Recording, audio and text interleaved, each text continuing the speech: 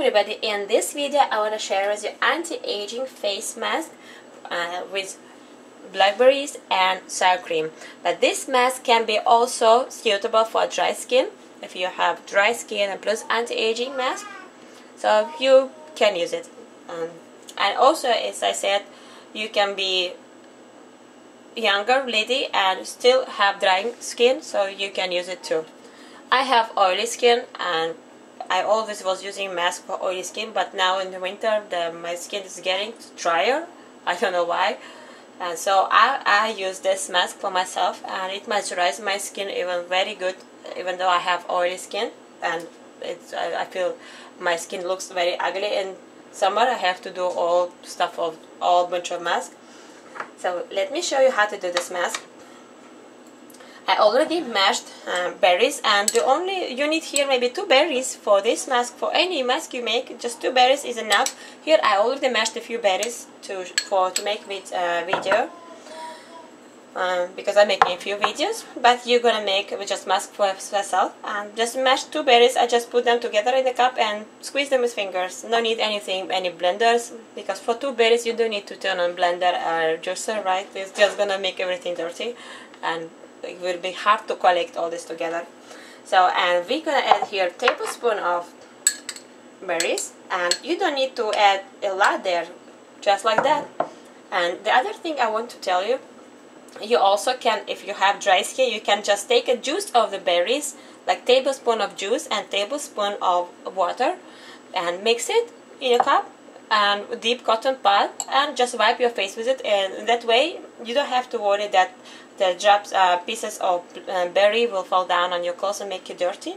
If you have dry skin a tablespoon of uh, berries juice and tablespoon of water just mix it and deep cotton pad. If you have oily skin you just need tablespoon of this juice no water nothing added.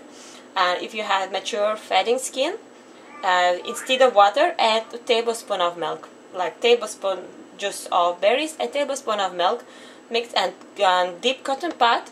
It will be very good for ma uh, mature skin fading. And just wipe your face with it. So here I want to show you the mask for aging skin and also suitable for dry skin.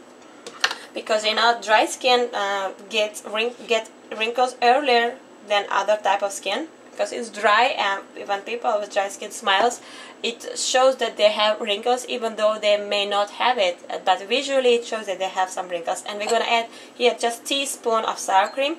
Why teaspoon? Because it's already liquid and uh, it's not a, a hard uh, not, not something uh, like heavy mask so you just can mix it. It's all gonna be kind of liquid. And if you add more table uh, or more sour cream it's just gonna be just like a red water you know? So just add teaspoon and it's enough.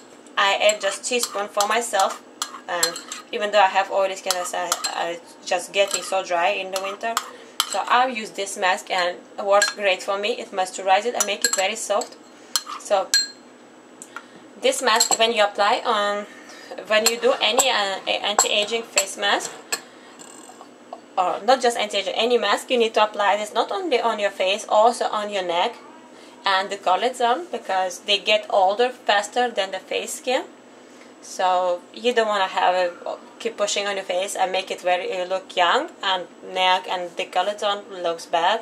So always apply uh, everywhere to keep all um, in the same age and 10 15 20 minutes is enough for this mask. Your skin will absorb everything what you need. And uh, I want to say this mask you do not do it while you're working and doing stuff in the house. And do not even add here flour because oh I always say add some flour to make it heavier.